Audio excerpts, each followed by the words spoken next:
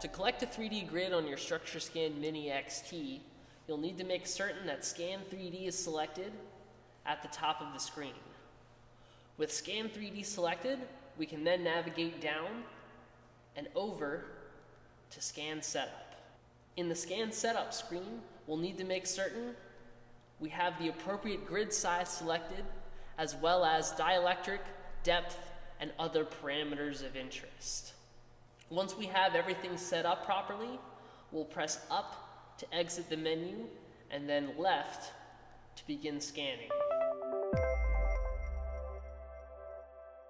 Once the grid appears on the screen, we can take our XT and, if the lasers are on, use the lasers or the grooves on the sides in front of the device to line up for your first profile.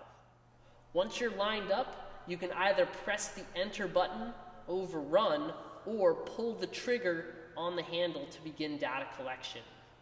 Once you've begun data collection and hear the beep if the sound is on, you can press the XT forwards and off the grid. You'll see it stop scanning and, with the sound on, hear two beeps to let you know that it's ready to collect the next profile.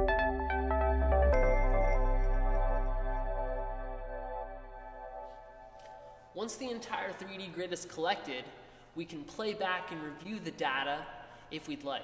If you believe you may have messed a line up, you can always use the next line or previous line options to collect data over that profile again. Assuming all of your files are fine, close grid at the bottom of the screen and press enter to exit out of here. We'll then go back to the main menu and then over to playback setup in the Scan 3D submenu. Once in playback setup, we'll go over to Files, and then select the grid that we'd like to review by pressing the right arrow, going down, and then pressing the Enter button to put a check mark next to it.